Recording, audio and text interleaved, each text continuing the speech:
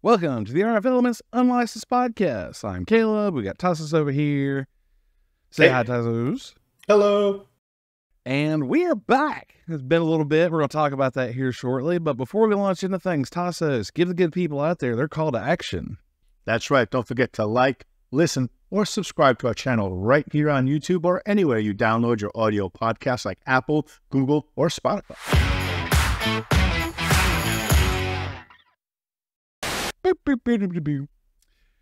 All right, y'all. So uh, it's been a minute since we've done a podcast for sure. We've been slacking a little bit, or it seems like we've been slacking a little bit. So uh, really busy summer this summer. Um, you know, work things, personal things, vacation, so on and so forth. So, uh, but we want to get back to you guys, just kind of give you an update as we wrap up the end of the year here. We're going to talk about Wispapalooza. We're going to talk about kind of all the stuff we've got going on in the background, which has been kind of quiet, but uh, big things pop, big things pop. So Lots going on. for sure, for sure. So I guess first thing, let's talk about uh Wispapalooza. Um, we just Yeah. did that about a month or so ago. So uh great show as always. I feel like this year felt like a little more invigorated, I think, than maybe last year, right? So Definitely, definitely. uh, a lot of excitement in the air. I mean, you know, a big part of what's been going on is the the perpetual sort of wait for six gig, right? It's like, all right, it's coming. Q2, Q3, Q4, spin it around. But supposedly, 2022, 2023, yeah. Maybe now 2024. So, supposedly sometime in December, right? I'm, you know, Right. not quite holding my breath, but it feels way closer than it's ever felt, right? yeah. And it seems like the last few gates that the feds are running through are kind of running in parallel instead of serial, right? So, you know, if there's a hiccup in one thing, it's just not going to stop the whole process. So now Yeah. if the government shuts down or the FCC um, does FCC things, you know, it could get pushed some more. But seems like things are real. They're going to be happening soon. And I think I think that's led a lot of the the energy into the space this year. Um, I think the the clarification as to where the whole BEAD thing is going, you know, because it was Yep. announced last year, and there was a lot of I don't know turmoil or not knowing what's going on. I think the view of things now is a lot closer, right? And we can see, hey, this is a thing, and we're going to work through it, but eh, maybe not so gloom and doom as it once before. I don't know. What are your thoughts? Yeah, no, no, absolutely. I mean, there's definitely a lot more clarification. I think is the best way of saying, you know, what's happening with with everything as far as six gigahertz goes. Yeah, uh, it, it definitely seems we're at the the finish line now, right? Because there were so many questions about, you know, will it or won't it happen? We know that it's pretty much going to happen, right? So that's that's a closed chapter. You know, who's going to support it? You know, we know now that uh, Cambium is, you know, one of the major players. Tarana obviously announced their six gigahertz.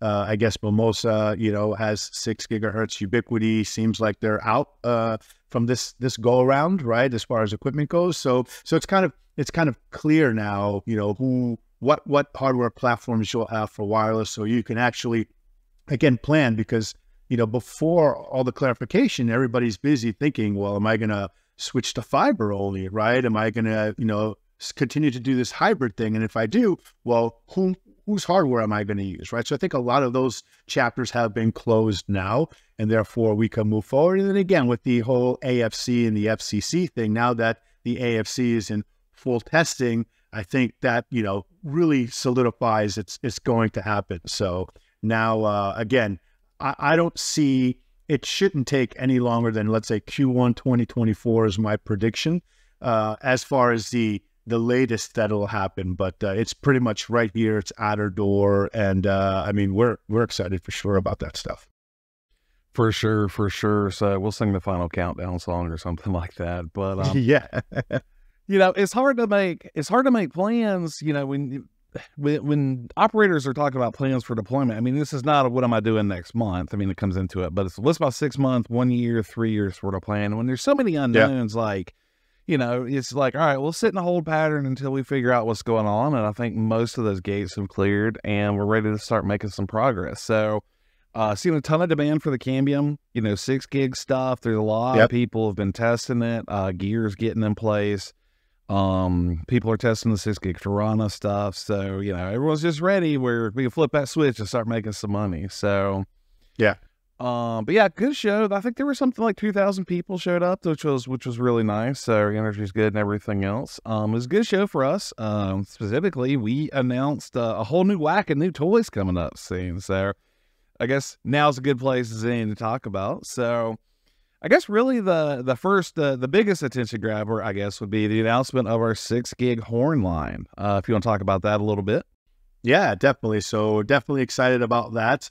Uh, again, it's uh, something that uh, is you know currently in uh, the manufacturing stages. So I mean, a, a, lot of what's been going around or happening in the background, specifically with us and this stuff, is that you know uh, we're you know we're constantly innovating, right? And what we're doing now, what we've been spending a lot of energy on, is innovating the manufacturing techniques for making horns, right? So the innovation now that we're bringing to manufacturing of antennas, or specifically will really allow us to broaden the range of products that we offer as far as frequencies.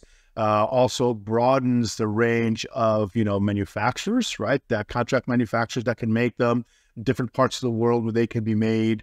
Uh, so it's not really, you know, a bottleneck down to one way in one place to manufacture these things. So it really helps the industry not just specifically us and the new technologies. I mean, again, you know, we actually have a concept, you know, for a 2.4 gigahertz horn, which is something people have asked for, right? So again, it's it's pretty big, right? And it's gonna uh, be thick. yeah, yeah, with two so, C's. Yeah, so it's so it's it's different, obviously, but it's it's now possible to again with this innovation in manufacturing that you know we're doing and what we've been working on for over a year now uh, we are able to, you know, bring these larger form factor horns and make them cost effective, light, you know, lighter weight. And uh, again, it uh, allows us to go into different areas. I mean, you know, 2.4 and LTE are very similar as well, that 2.5 gigahertz uh, spectrum and stuff like that, right? So, so there's, there's a lot more possibility now uh, for the industry with horn antennas, bringing again all the you know, uh, initial innovations we brought with, you know, the absence uh, of suppressed side lobes, you know, good performance, chain to chain performance, and all the other things that we do now. So it's tightly controlled and a, a, a lot better than, you know, what it was in the past. For sure, for sure. So now with innovation uh, comes uh, many adventures uh, oh, and many uh, opportunities to learn. We'll put it that way, right? So definitely. So we've got on our website, like if you go to rfelements.com, you'll see a big banner for 2023 products. And we've got some generalized description and some real basic specs. So full spec sheets on the six gig stuff's not quite ready yet um, in the product pages, but that'll be coming out really soon. There's a few tweaks and a few things that we're finalizing. So, you know, we're very confident that it's going to look very similar to what we had at the show, but yeah, as a prototypes. But um, you know, like I said, uh, cross the T's and dot the I's. One of the things that we have always been really focused on is making sure that our details are technically correct, accurate, you know, all these sort of things, right? So it's definitely an iterative process, but all those details should be coming really soon. We've had a lot of interest, a lot of people asking, so just know that it, it is coming and it's coming soon, like real soon, not just our normal hashtag soon. So not our joking soon, real not soon. our joking soon. Uh, yeah. So yeah, so you know, initially most of the the interest was definitely in the six gig stuff. It's been on top of people's heads for a long time. Um, the CBRS horn, you know, we had that mock up prototype. Uh, feedback was really good. You know, very it's good. Gonna be it's going to be sort of a niche product. Uh, for, sure. for you know a connectorized CBRS solution, but again, we're looking at this because the the manufacturing that we're doing is leads it to be more flexible, so we can approach these sort of niche projects and things like that, which is really fun and interesting. So um, but the other thing, there was a lot of talk about um, that we're doing now is the the four x four and the eight x eight horn arrays, yep. right? So yep. we've we've pretty much finalized them. Uh, details on that super soon. We're about ready to roll with those. So what we're doing there is we're using the existing for five gig, anyways, using the existing five gig horns. Uh, with some really clever mount setup. So you have single point attachment to the tower or the standoff or whatever you're doing but you're able to run two horns for a 4x4 or we're able to run four horns in combination for an 8x8 to support not just um, the upcoming stuff, so 4500C, right? That's the 8x8 connectorized AX platform from Cambium. Uh, but you also can use the 3000, right? The existing 3000. We're looking at um, you know, just to clean up that that processor. There's a lot of places in the world that are still using the 3000 or be using the 3000 for a time to come, right? So we've got some really cool stuff. Uh, it was really cool to see, like, as soon as you walked into the exhibit hall, Cambium's big booth, you know, had that that big four horn array right on the first pole. So that's cool to see. Yeah. I mean, That was awesome. yeah. So I don't know. Uh, you know, we've been working a lot with Cambium on this stuff. I don't know, Tassos, you want to kind of go into that some more or? Yeah, so I mean, you know, Cambium has been a, a, a key ally or partner with RF Elements for quite some time now, right? So uh, you see it in their radio designs for the past few years now, how they uh, take into account uh, the shape of particular radios or connectorized radios that they make to make sure that they work with the original, you know, EPMP 1000 form factor or the original EPMP 2000 form factor uh, for their new radios. So that way, the same TwistPort adapters that uh, their customers have been using uh, in the past are still compatible with their platforms moving forward, right? So there's a lot of that happening. Uh, there's also, you know, I think a lot of design, uh, you know, consideration at uh, Cambium, right, for horn arrays, right? Because that's where things are going. You know, there, there, there's a lot of companies who are moving forward with, you know, all integrated patch array type, you know, four by four, eight by eight, 16 by 16, whatever it might be in the future. But Cambium still sees, I think, the value uh, in giving their customers uh, choice, right? And it's really what what it comes down to the choice of using other antenna solutions, you know, um, which is something I, you know, I've always praised Cambium for in listening to their customer base. Their customer base wants to use horn, so they still build radio platforms that are connectorized that support it in four by four and eight by eight, right? So moving forward, again, these things uh, are, are something that we're, we're we're looking at, and and in conjunction with Cambium, how we can deliver uh, these types of solutions and even other solutions, right? This is just kind of the, the tip of the iceberg for how how to make antennas uh, lighter weight and more flexible. For sure. And, and, you know, that size consideration, especially for these multi horn arrays, is really important because it's, you know, it's the, your EPA, your effective projected area that we publish now. Um, it's your wind load that ties into that, but it's the weight and everything else too. So, you know, I'm not going to say the days of a, a, single horn and a single radio are gone by any stretch. I think we're going to see a Yeah. ton of that, you know, going on in the future. But, you know, realistically, these more higher end, higher order sort of systems are going to get physically larger and larger over time. And you've got to start taking to look what's your footprint, what's your attachment method, what's your EPA and wind load and stuff. Because, you know, the more you add to these, the more you've got to think about what your tower engineering is going to be, right? So, Yeah. you know, things are things are evolving. So, you know, for us using that lighter sort of footprint, uh, definitely helps a lot in those respects for sure. Yeah, exactly, exactly. And and how how how you utilize the platform as well. I think that's one of the thing that uh, things that excite me the most about Cambium and how they're doing their connectorized array. It's not just about you know using you know any manufacturer's four by four or eight by eight array of no matter what it is, whether it's patch array or it's horns or dishes, who knows, whatever it is.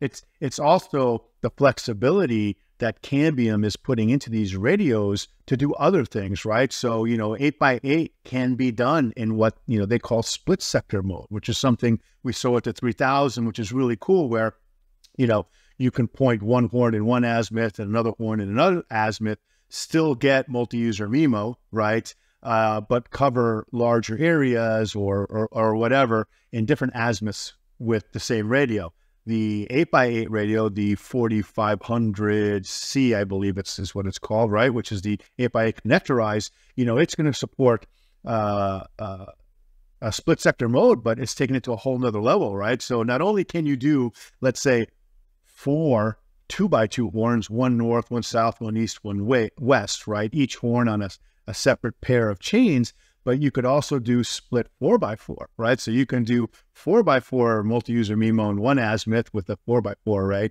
and another four in another azimuth. So you can kind of do the same thing, or you can do the straight eight by eight where all four antennas are facing the same direction, right? So again, it gives you a lot of possibility uh, to be flexible with your deployments. And, and what's important to me, or what I think is important, is it really depends on the density of your install base, right? So, you know, there are some more expensive platforms out there, right? That you, you have to put all that money in one azimuth, whether you have one customer there or you have 200 customers there, right? With the, the, the Cambium solution, you could make that really dense. Maybe you only need one radio for all 360 degrees with four horns, right? If it's really dense, then you can point all eight in a 90 degree or a 60 degree beam and, and, and do that. Or you can split that radio up into two separate radios and so on and so forth. So, so allows you to grow and be flexible. This is something I, I really don't think people see this possibility and understand the power of that platform. So it's really exciting stuff, really exciting stuff. For sure, for sure. Because like the flexibility and the tools in the toolbox approach just gives you a lot of different ways to skin totally. a cat, right? Yep. So, and you know that's really important. I mean, you know, WISPs have always been, you know, amazing at being able to to use a lot of different things a lot of different ways. And this this the the tool sets that we're doing here with the new ePMP line is really slick. And it's kind of funny though, because it's like why are you why are they still messing? Or they're asking us for the four by four and stuff. They're like, why are you guys still fooling with five gig? Five gig's dead. It's not going to be six gig. And it's like, no, not even close. Not. Like, not at all. Especially the AX, everything I've seen in testing, the AX stuff really is able to handle the noise way better than anything before, any of the AC stuff or whatever else, right? So, you know, there's still a tremendous amount of spectrum available in 5 gig if you're doing stuff, if you're making smart decisions, using horns and things like that that'll go along with the six gig stuff as well, right? Everyone thinks that six gig is going to be this perfect panacea of no noise and stuff. And we know realistically, yep. come day one, when it's time to flip the switch, it's going to get noisy pretty quick. Now, I think it's going to be more manageable than six because lower ERPs. Um, and people uh, are a lot more educated about how to do stuff now versus the last, I don't know, 15 years of doing five gig stuff, right? So, yeah, you know, there's a lot of advantages and stuff to it, but it's not going to be the land grab. You know, there's no incumbency protection and stuff. There's the AFC basically only exists to keep you from messing with the license links, right? So other than that, it Correct. does not care at all about anyone else in your space. So the cool thing I did see, so Dimitri posted some information uh, in the forums about they were doing some testing to see how many available channels there were. oh yeah, yeah, I saw that. Yeah, so that was always really interesting because everyone was like, well, you know, in rural areas, six gig rules a roost for point to point because of the further distances, less rain fade and stuff. So there's going to be no channels. I was, I'm not going to say super surprised, but I was kind of surprised the amount of availability. Like I think 50, you'd have to look at the post. I forget the exact numbers, but they they surveyed a whole ton of sites and like half of them had full channel availability, full sizes. And it wasn't there was a very small percentage where the towers would be kind of hobbled, like where you didn't have much, but they would be like, I don't know, very close to towers that also had full availability. So what yep. this means to me is, you know, it's definitely a consideration with the point to point stuff and channel availability, but there's a ton of channels realistically is going to be available.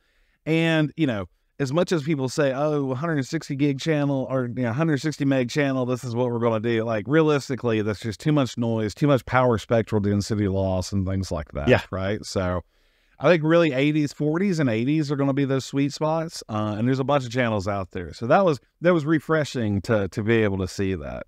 So yeah, yeah. I mean, that's definitely something uh, that that I think is the the next step too. Like even with you know five gigahertz and the the last generation of hardware, you know the radios that were out there were able to go to 80 megahertz and you know do 100 megahertz wide channels. But that really you, you didn't see it much. 40 megahertz was pretty much the king between 20s and, and 40. So here, as we jump to 160 megahertz channels on this next generation of stuff, yeah, I think it's going to be sliced into 80 megahertz channels at most uh, is where you're going to see it. Um, I mean, not only is you know 160 megahertz a waste, it's it's difficult to maintain.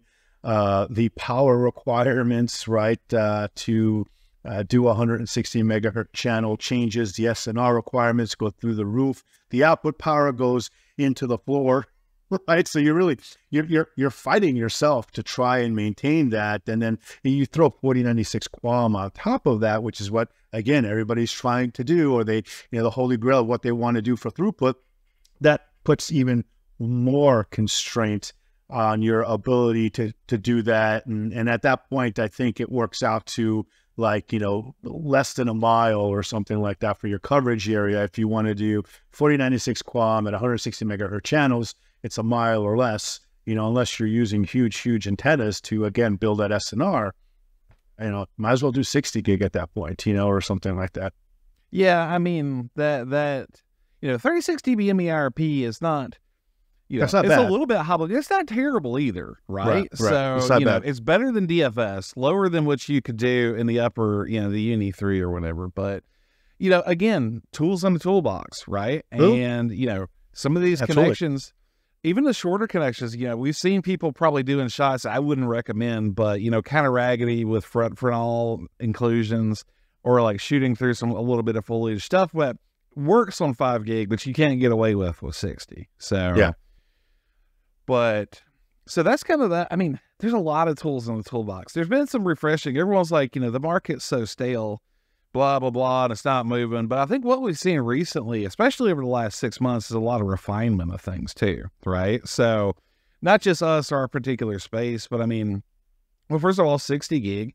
You know, we've got some new players in the field. Um, yeah, we got Tachyons out there doing their thing. The Ubiquiti Wave stuff, you know, they've announced some new models. I mean, that's ripping Some good stuff. Yeah. it's doing really well, right? So, and it fits where it is. Um, Cambium and Ubiquiti both have 10 gig GPON now, which, Yep. you know, and they're taking different approaches to how they do it, like they always have. Um, you know, there's some really cool tools there to tie in into your existing eco structure or ecosystem network structures and stuff. And again, be able to supplement the areas that you're doing, right? So, you know, there's a lot of areas where it makes sense. There's a lot of areas where it doesn't. And, you know, people people will tend to say, well, this is the only way to do this and forget that uh, the world is the country or the state or the town could be completely different. You know, network to network, operator to operator, tower to tower, right? So, Right.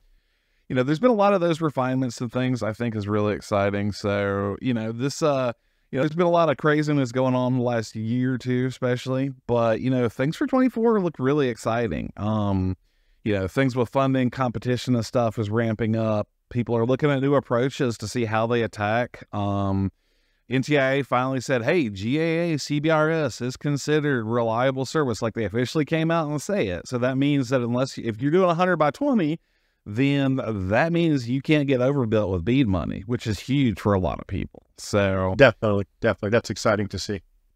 yeah, they're finally right. Like it was kind of hinted around, but you know how the government is. Like you can't just Yeah. believe a hint because they'll be like next day is like mm, nah. So yeah, the fact that they put that down was really cool.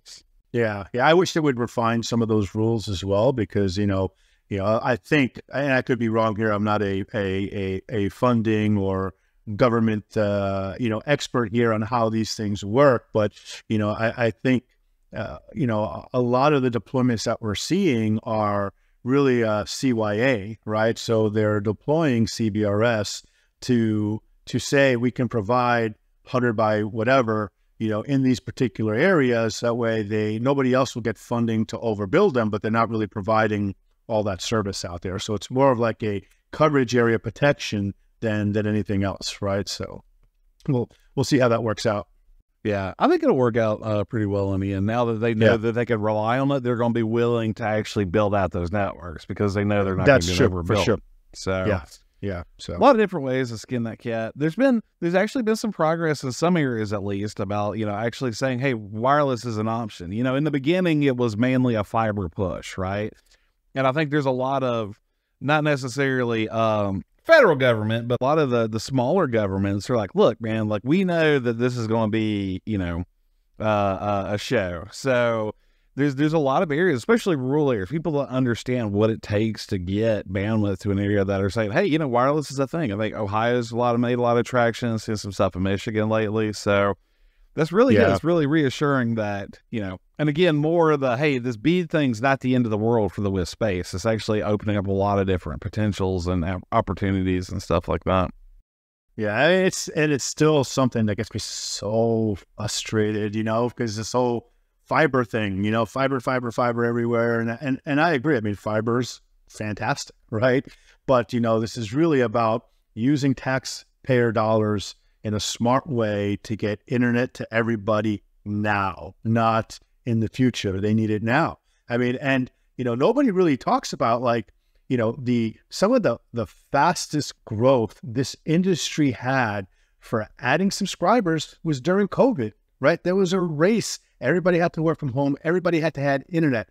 And how did everybody get internet back there? With wireless. It was reliable. People were working from home, right? People were uh, going to school from home, doing all these streaming audio, video things, things that are very important to be reliable.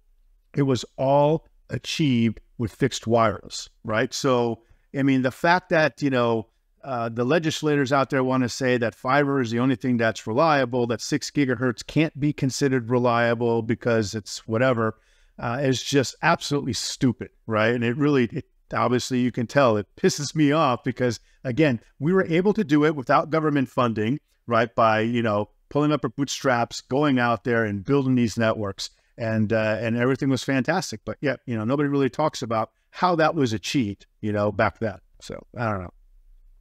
Well, you know how legislators are. They're like, "Oh, what can you do for me now?" Oh, Mr. Bribe Man with the bribe. I mean, not bribe money. It's uh, campaign yeah. contributions and stuff like that. I guess you put it in a different colored envelope, or you put a seal on Maybe. it, and it's totally legal, yeah. right? So, yeah, I don't know. Uh, there's still there's areas where where we're making some progress there, right? Which is which is refreshing Definitely. to hear because the more that snowballs, you know, the the more that the rural folks are like, hey, we have an opportunity to boost our economic base by actually getting operators out here and deploying. You know, the yep. more they look into that, especially as the the country as a whole is shifting. You know, it'll always be sort of urban centric, but there's a lot of places and a lot of people that are like, look, we're tired of the the urban or you know super tight suburban lifestyle. We want to spread out a little bit more because there's a whole lot of space out there. So, yeah, definitely, definitely.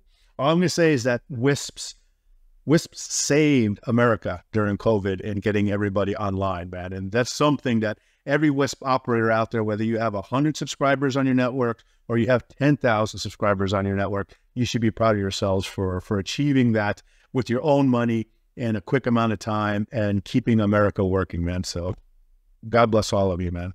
100%. 100%. So, um, let's see, what else do we want to cover? Um, try not to get into our normal sort of ranting, uh, rambling rabbit trails and stuff like that. So, you know, that's the bulk. Again, we've been, you know, working on so much stuff in the background. We've not been super vocal. We've not been throwing a lot of content up. We've not been bantering as much and stuff like that. But, yeah. um, you know, we just want to say, look, man, we've been busy. There's really big things coming, and we're really looking forward to next year. Um, it's going to be really exciting stuff. Yeah, the, I mean the market's just been evolving, and you have to evolve with it. So that's that's changed on, on on many fronts, right? Not just about the technology, but how you run your business. I mean, the, we can see the distribution channel is is changing dramatically right now as well, right? Um, and then there's again uh, the products. And what we didn't talk about, and actually we didn't have at Wispapalooza, but it's in our new product sheet, is now larger dishes, right? So people have been asking us uh, for some time to go beyond the 27 dBi gain that we have for our current Ultra Dish, right? So again, we have a 30 dBi version that's uh, coming out.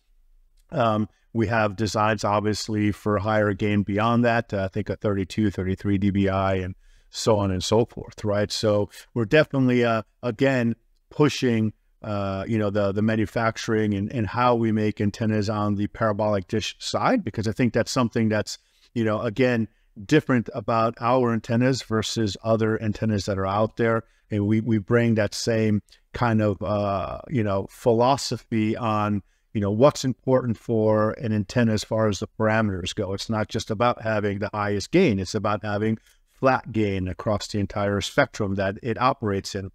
It's about having good VSWR across the entire spectrum. It's about having, again, balanced beams, right? You got to make sure that the vertical uh, beam shape matches the horizontal beam shape as close as possible. So that way you get good chain to chain performance. You get good and stable modulation rates. So again, we're we're bringing that uh, again, you know, to the forefront of dish technology, and now we're expanding the gain there as well. So that's something that's really exciting, and it's something that the industry is really going to need because again, these uh, wider channels at these higher 4096 uh, and even 1024 modulation rates will require more gain on the AP and even CPE side of things in order to uh, deliver deliver that bandwidth. So that's pretty exciting too.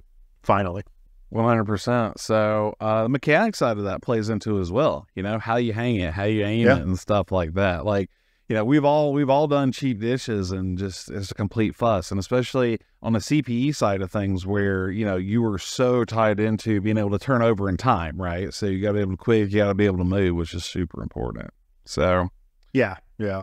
So that's that's something that's that's important and still, uh, you know, still something that we always have to look into. Is uh, like you said, the user experience is how I like to call it of how it installs, right? Uh, making sure it's as easy as possible with as uh, little, uh, you know, fuss and uh, the amount of tools, screws, nuts, bolts, washers, and everything that are required to, to do that. So that's all still there. uh, comes from ten years of making stuff and screwing up plenty, right? Screwing So- it up? Yeah, I mean, shit, we made- I mean, you know, we've always been vocal. We've we've never, you know, suppress that information. We've actually all, always called for it to come out because that's the way you make it better. But man, we've made a lot of mistakes along the way, right? And and some of the designs, we thought this was a great idea. We put it out there, and you know, you let the user base break it, right? And they show you how to make it better. And and you know, we we constantly do that. So I think we're at a point now where our design is pretty dang solid, you know. So Cool stuff. Well, I think that's really about all I've got to cover right now. Um, anything else on top of your your list?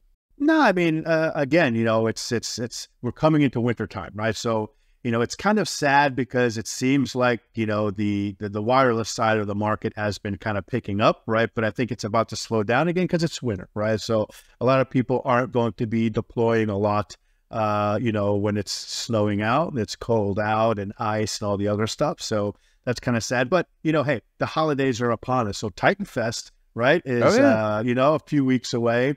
Uh, Thanksgiving is what next week, right? Jesus, it's happening so Depends on when we right? publish this, right? So Yeah, exactly. There might yeah, be a little- exactly. little timey wimey things at play. Yeah, yeah, yeah, exactly. So, so again, you know, the, the holidays are upon us. Uh, Titan Fest is uh, right around the corner here too. I think, uh, you know, uh, so Christmas, New Year's, man, it's just I- I'm ready for 2024 to to be here to happen and to really start uh, moving forward. Uh, you know, with the next next step, right, in wireless.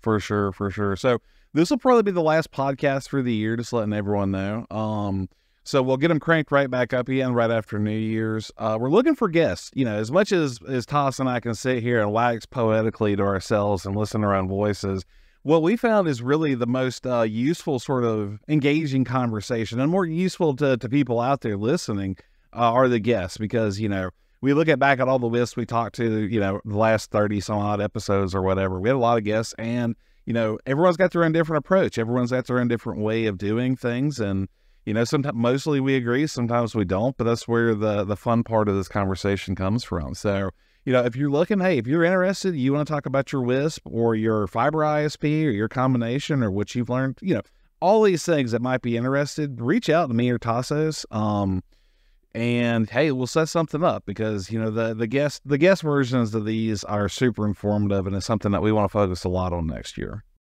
Yeah, definitely, definitely. And, and beyond that as well, you know, we're actually looking for beta testers and for customer feedback is something we always want. So if any of the products we talked about, and we'll be talking about them more here in the uh, coming months, but if anybody's interested in any of the new products, you know, go to our website, rfelements.com, and on the front page, you'll see new products. Uh, basically, a new product announcement at the bottom of that page. You'll see a link there to sign up for beta testing of you know, all our new products, whether it's six gigahertz horns, CBRS horns, the new dishes we talk about, four by four and eight by eight arrays. So all this stuff is on the table. Go to our website and uh, sign up for a beta testers thing. Give us some, tell us some information about a deployment, something that you want to test, and if it's a good fit for one of these new products, you know, we'll we'll get you a sample sent out and uh, you know get get some testing going. For sure, for sure. You can also go to the contact page, fill out a ticket there. You can email Tassos and I directly. What are, what's our what's our normal sort of sign out group? How do they find us? Sorry, Yeah, a little little you rusty, it- little rusty. You can find us anywhere on social media, right? So all over Facebook and the main WISP groups.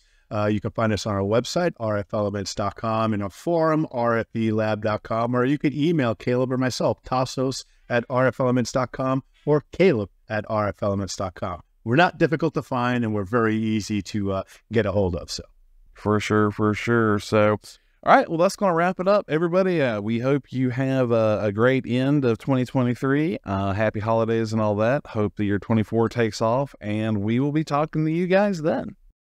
Absolutely. See you guys in 2024. See ya. Bye. Bye.